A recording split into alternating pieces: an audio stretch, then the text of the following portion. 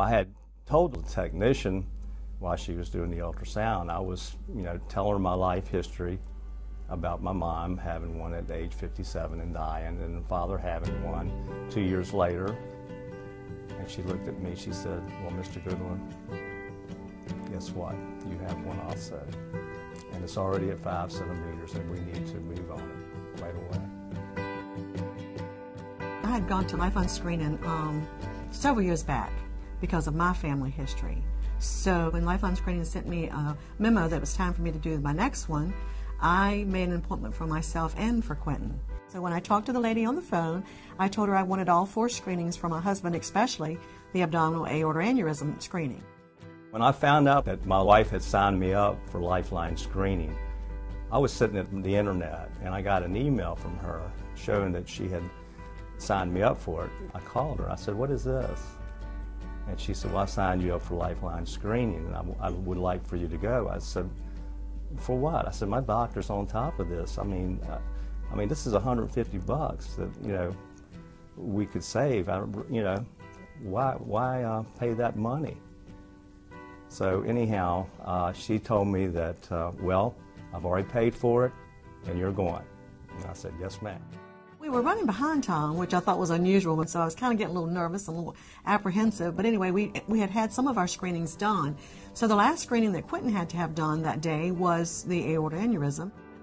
The young technician was back there, and I heard her talking to my husband. So I went on back behind the screen, and Quinton was looking at a form and whatnot, and I just kind of looked over his shoulder, and I said, "Oh my God." And I looked at the technician and I said, How bad is it? And she said, Well, it's just a mild emergency. I said, How bad is it? And she told me then it was at five centimeters.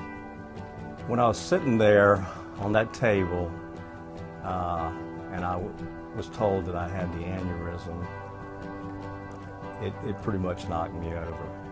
I, I, I had not a clue, you know, because I haven't had any symptoms. Of course, I was a little upset. I started shaking all over because even though I knew that was a possibility because of his family history, I still wasn't prepared to hear that. That was on a Wednesday afternoon, so we saw the surgeon on Friday morning.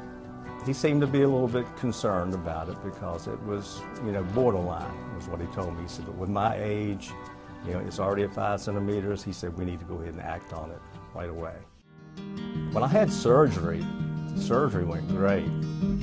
Uh, my wife and my children couldn't believe how good I looked when I came, came out of surgery. It's, it's real assuring to know that it's been repaired and that I'm doing okay and that I'm going to live through this. I still want to live a long and healthy life with my wife and my grandchildren and children. This has given us that life. You know, Lifeline screening saved his life.